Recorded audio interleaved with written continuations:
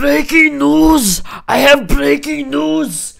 Everybody, everybody who's watching the video right now, um, there will no longer be any more 2023 in about. Uh, hold on, let me check. Let me check my watch here. Uh, 40 minutes and, uh, one hour. That is all the time we have left of the 2023.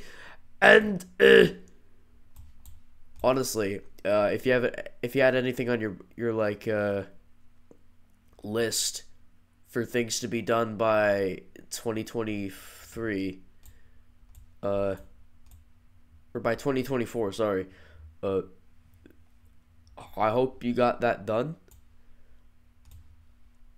But the new year's coming. The, the new year's coming. Guys, look look look at what he's pointing at. Oh, God damn it.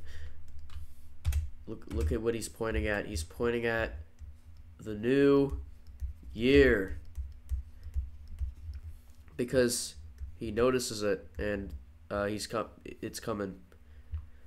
So everybody, everybody, we only have uh, uh we only have 40 minutes and one year left. Uh, not one year, one hour left of the 2023 uh, the 2023, it's almost over. There will be no more. There will be no more in under two hours. So enjoy it while it lasts. Goodbye.